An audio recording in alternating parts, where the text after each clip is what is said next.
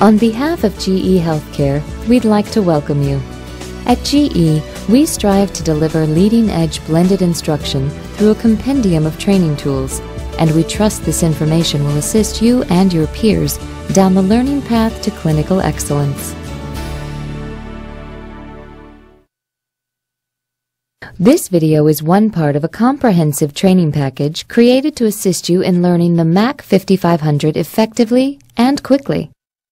At the conclusion of this video, you will be able to navigate the MAC 5500 keyboard, properly prepare the patient and connect lead wires, enter patient and test information, acquire a standard 12-lead ECG and a rhythm strip, and Manage the ECG files including printing, editing, and transmitting. Let's begin by reviewing the keyboard and other components you'll need to know for your quick start. We'll first look at the unit with the display screen closed. If you're using your Mac 5500 to follow along, we'll consider the area that holds the display as the front of the unit. Looking at the right side of the Mac 5500, we see two connection ports.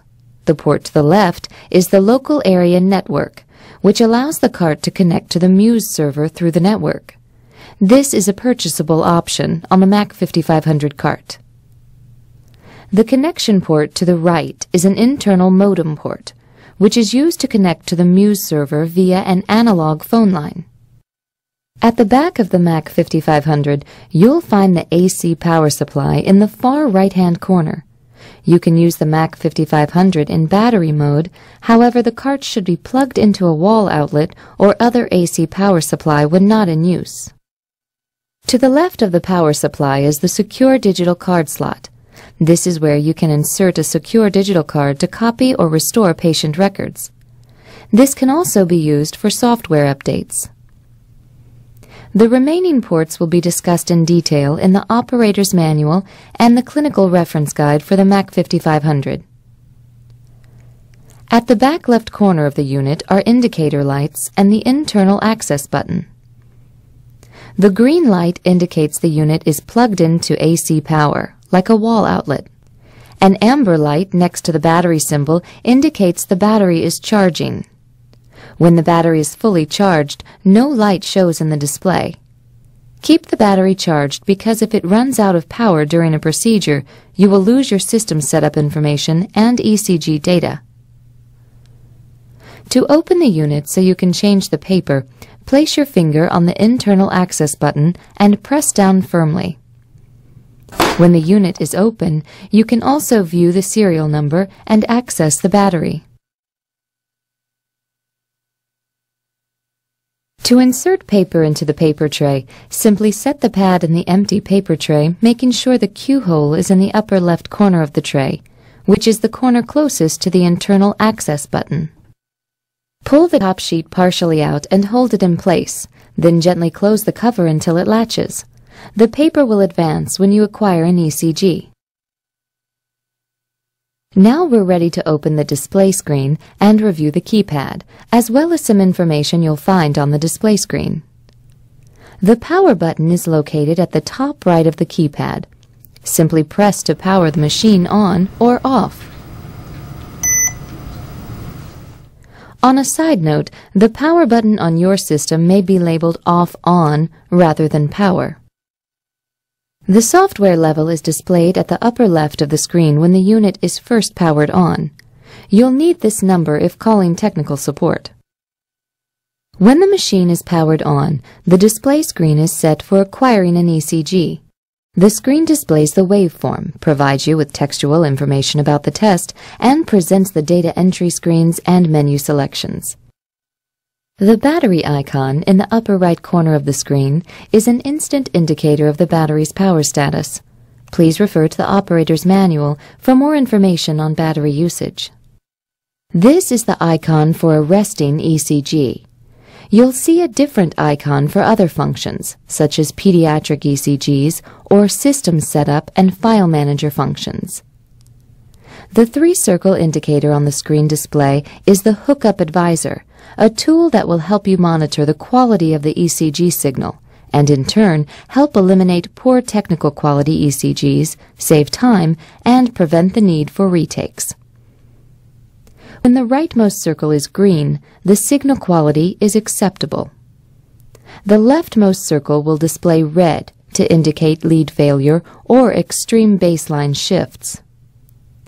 A yellow circle in the middle indicates there is muscle artifact, power line interference, baseline wander, or electrode noise. When the lead quality is red or yellow, a message describing the lead problem or status will appear on the screen. Please refer to your operator's manual or clinical reference guide for directions on how to configure and enable the Hookup Advisor feature. The heart rate appears below the Hookup Advisor indicator, and the date and time is displayed in the middle of the screen. User prompts that appear at the top left of the screen step you through what to do next. The menu selections and functions available on your system appear along the bottom of the screen. Let's take a look at the keypad before reviewing the menu selections.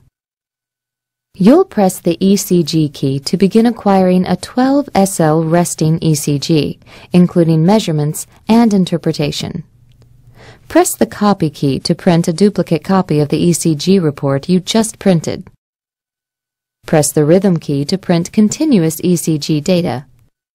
Keep in mind, however, the rhythm strip only prints. It can't be stored or transmitted. We'll revisit the ECG and rhythm keys in the section on acquiring an ECG. The Stop key stops the writer from printing. You can use the arrow pad to move the display cursor to the left or right, up or down. Pressing directly in the center of the arrow pad selects a highlighted menu on the screen, as does the Return or Enter key. The space bar inserts a space between typed characters. You can use the space bar also to navigate through menu items on the display screen. Use the Escape key to return to a previous menu. The clinical reference guide included in your training kit will show you how to work within the menu selections to set up your system. In this video session, we will review how to select and access menus and work with data fields. The menu selections on the screen correspond to the function keys directly under them on the keypad. To make a choice, press the function key beneath the menu item you want. We will review the F keys briefly. Press F2 to open the lead selection screen. When acquiring an ECG, you can select the leads here or change the selections that have been preset in System Setup. Press F3 to change the writer speed. Press F4 to change waveform amplitudes. F5 allows you to easily change filter settings. F6 is labeled More, which will take you to two more selections. The pace gain, which is F1, allows you to enable the pacemaker enhancement function, which enhances or enlarges detected pacer spikes on the ECG for easier viewing.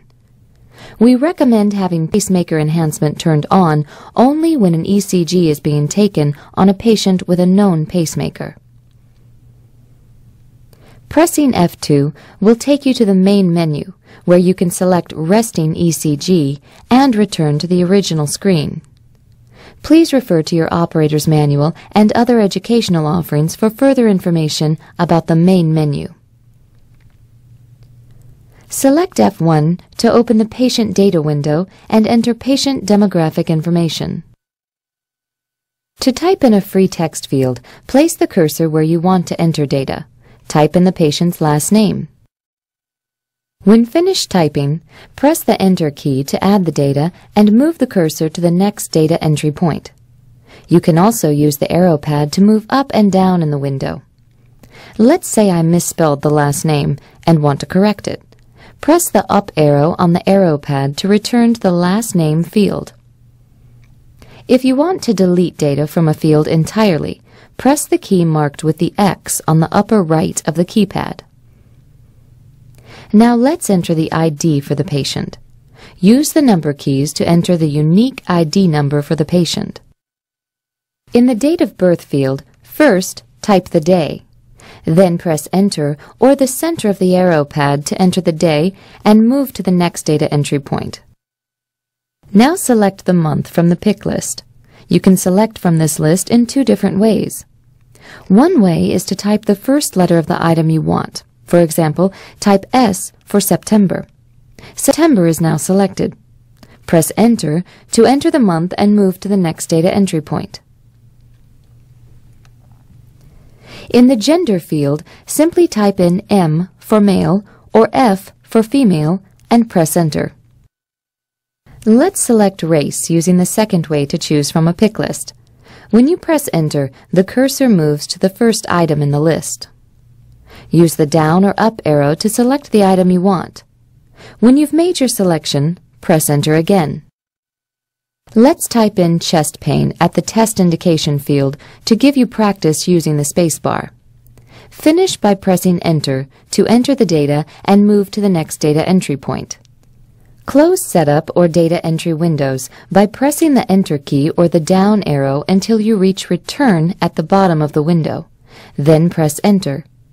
Pressing the Escape key will also close the window.